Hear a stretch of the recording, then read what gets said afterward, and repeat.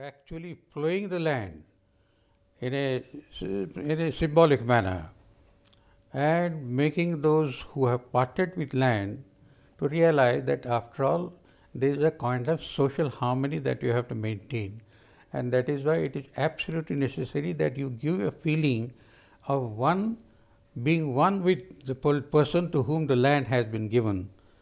They were given seeds, they were given pesticides, they were given the bullocks, they were given the uh, all of the facilities which are required for cultivation of land. And I, I was feeling very happy that a kind of situation has been created where land reforms have been brought about without any kind of enmity or a, a kind of uh, a reservation in the minds of those who in fact was parting with it. Another problem which I distinctly remember, after all it's a part of history, I can't deny the same. That was the time after about six or seven months, emergency was uh, declared in the country. But I distinctly remember the first year we went, uh, we were, uh, were working very well. Actually, we were getting the uh, full credit for uh, doing excellent things. In Bombay city, the uh, important problem was that of traffic jams. The locals are more than uh, flooded with all kinds of people. There is hardly any relief for those people in spite of increasing all kinds of uh, passenger trains. We could regulate the same by staggering the uh, office hours. I requested both Government of India officials as well as the state government officials that instead of everybody starting at 10, let some some of the offices be started at 9.15, another at about 9.45 or so, so that we are able to regulate the traffic.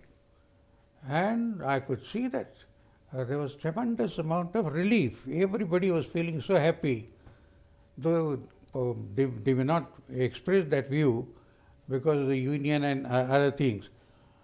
But that was a situation which was brought about. I was also very happy that some of the uh, sahukars who in fact had perpetrated a great amount of exploitation on the poorer sections by having all their utensils, their all other jewelry and other things as pawns with them. That was the time when I had directed all the office officials to see that all things are being returned to those who in fact had actually paid back. And it was the amount of interest due to which these articles they have been seized by these people. And most of the people they were very happy that lands have been returned i mean uh, things which were uh, with the sahukars have been returned and the moneylenders themselves were also volunteering to return the things which they were having in their possession.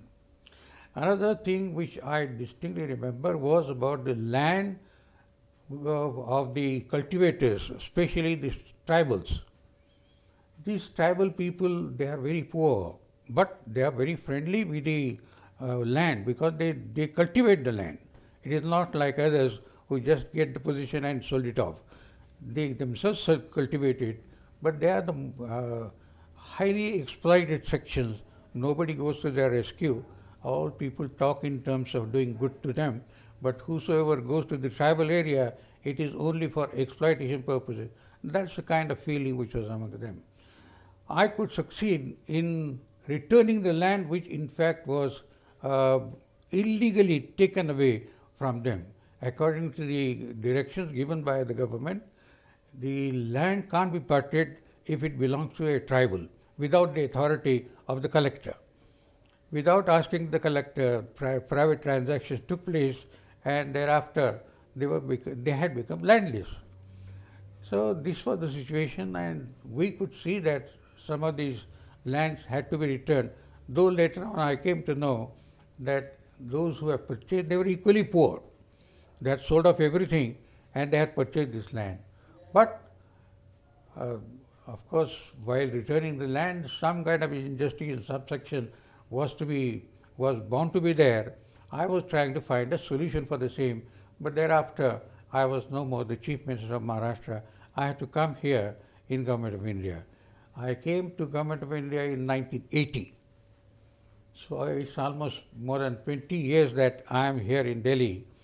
And, and the happiest moment of uh, after taking over as the chief minister, I mean, um, as the home minister, I was the first person who probably completed his full term of five years. No home minister was there for five years. Either they were for two years, three years, and some people even for one year. In this period, the happiest moment was when I could succeed in holding the elections in Punjab. I could hold the elections in Jammu and Srinagar. And another incident which in fact is also very important to be mentioned and that's about the uh, status which uh, Lal Denga, he was asking for his state. But uh, the, uh, I, am, I am quite sure that it was agreed between Mr. Narasimha Rao, who was then the Home Minister, uh, the negotiations, Parthasarathi and Narasimha Rao, he was then the External Affairs Minister. So they had negotiated and they had agreed for giving a special status to this state. Lal Denga tried his level best. I said, I can't uh, accept this kind of a position. In Jammu and Kashmir, giving a special status under Article 370 had created enough problems for us so would not like to add to our difficulties. And I told him that I flatly refuse. Uh, being the Home Minister later on, nobody told me as to what transpired between uh, Lal Denga and others, and that is why I refused. Mr. Rajiv Gandhi was the Prime Minister then. I asked him whether he had committed himself for giving a special, uh, special status to the state, and he said no.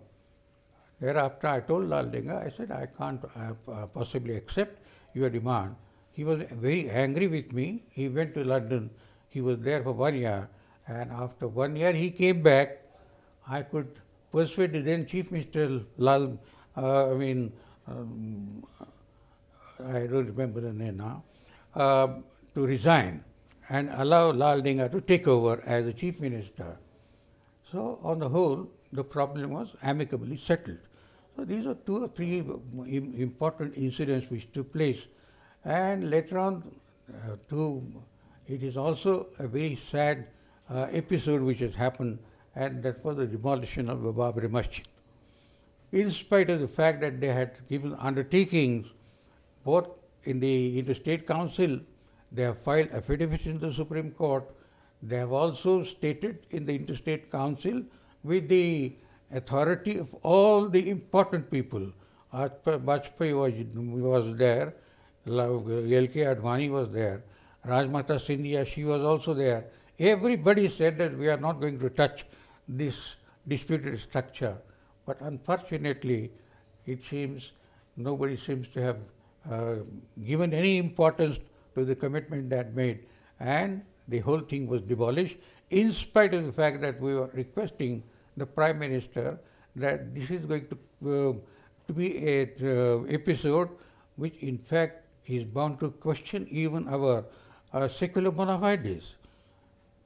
But somehow because of the affidavits filed with the Supreme Court and also the kind of word of honor given by very important people, he was uh, persuaded not to dismiss the UP government because the problem with us was that though the paramilitary forces were uh, there in Faizabad, but they could not be moved because unless the state government were to agree, we can't do anything. And that is why the state government had to be dismissed.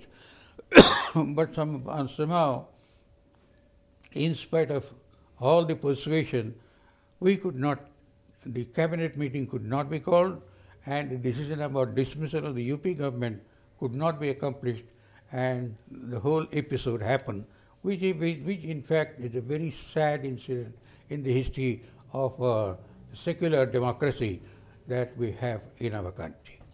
So these were some of the incidents which I thought that they in fact deserve to be uh, recorded in a proper manner, I am writing my own memoirs also, in which all the incidents which took place I am going to record for the posterity.